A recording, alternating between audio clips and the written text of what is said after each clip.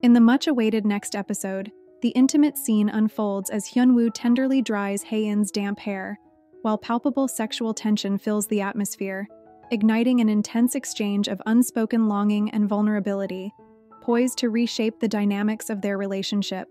In this adorable moment, Hae-in requests a hairdryer from Hyunwoo, who hesitantly offers an old one, cautioning that it hasn't been used in a while.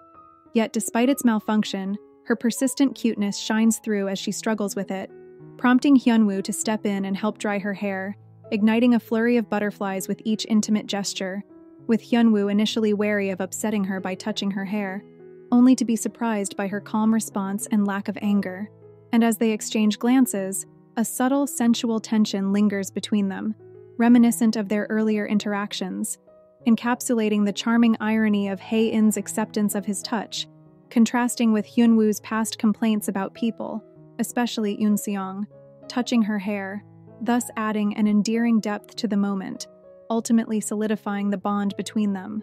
In the midst of rising tensions, Hae-in prompts Hyunwoo to halt as the atmosphere grows increasingly charged with sexual tension, indicating her assurance regarding the dryness of her hair, with Hyunwoo agreeing with her assessment and acknowledging the palpable awkwardness between them all enveloped in a fleeting moment of uncertainty as a brief pause blankets them.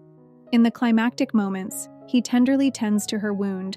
and they share a moment of intimacy amidst the lingering discomfort, forging a deeper connection between them despite the adversity they face. Make sure not to overlook the forthcoming episode, where the delicate interplay of emotions persists with Hyunwoo and Hae-in, maneuvering through the intricate complexities of their burgeoning relationship,